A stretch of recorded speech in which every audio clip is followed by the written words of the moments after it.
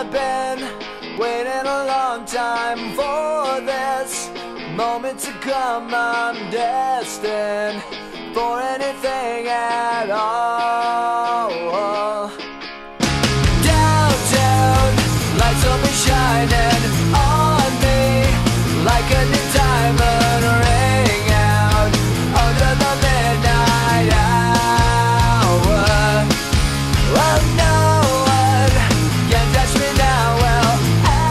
and having won it last year, have you altered your strategy any bit for this year in order to try and keep your title?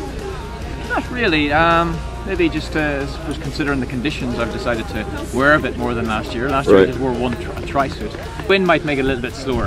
Um, that's the only thing. Then we don't have the final run. It's a cycle instead of a run, so in theory it should be quicker. But the wind might cancel out that, that, that advantage. So we'll see. Yeah, it'd be nice to go quicker. catch you